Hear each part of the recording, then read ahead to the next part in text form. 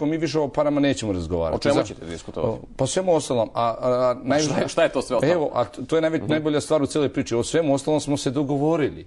A sad onda se postavlja pitanje zašto štrajk? Kad kažem usklađivanju ostalo- zarada sa indeksom Ne, potrošačkih cena, racionalizaciji mreže škola, donošenje Ne, strategije. Neke, neke od tih, pa dobro, neke od tih stvari- cijela lista zahteva. Da, ali neka ta lista zahteva podrazumeva 3, 6, 8, 9, 12 i više mjeseci. Onda se postavlja pitanje zašto su ti zahtjevi tako široki? Da li da se štrajkuje cijelu školsku godinu ili narednu školsku godinu ili da se vrši permanentan pritisak iz nekih drugih razloga? Dobro, Zašto? kako u, odnosu sad- na one, u odnosu na one konkretne zahtjeve koji su stigli zadnji put. Pustite, nemojte se, vi imate širok don't spisak zahtjeva. U odnosu na one za, zadnje zahtjeve, od pet mi smo četiri i po ispunili. Evo, mogućnost da se u drugoj polovini godine bude izvršena korekcija koeficijenata Ne, ne, zaposlenih. nije to. Nije to. Mi smo dobili zvaničan zahtjev gdje se govori izmjene i dopune zakona o osnovnom sistemu obrazovanja i vaspitanja kao novi zahtjev. Prihvatamo. kolektivnog ugovora. Prihvatamo jer smo za 14. mart zakazali konferenciju. Posebni kolektivni ugovor formirat ćemo radnu grupu idući nedelju, oni će dati svoje predstavnike i mi ćemo raditi.